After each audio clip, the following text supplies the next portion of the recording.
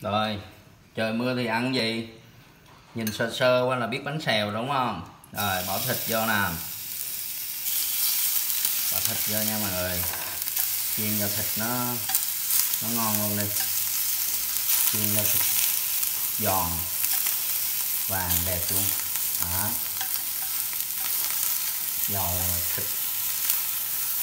Cái này là bột gạo nha mọi người. Bột gạo, tôi bỏ thêm ít bột chiên giòn vô thêm tí bột giòn vô là nó giòn rồi. Rồi, bỏ túi giá rồi nha. Đó, rồi cho bột vô. Đơn giản. Rồi. Bỏ giá vô trước là giá nó bám luôn vô trong cái bột luôn nha mọi người.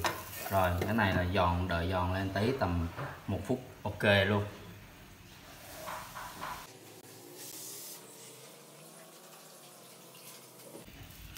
Rồi, sau khi đợi một phút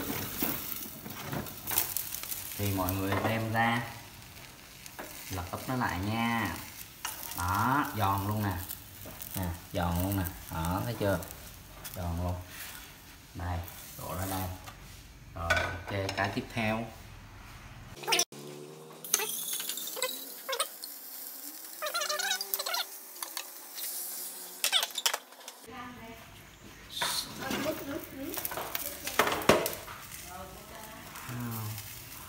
Đó giòn luôn nha mọi người. Nè quá giòn luôn.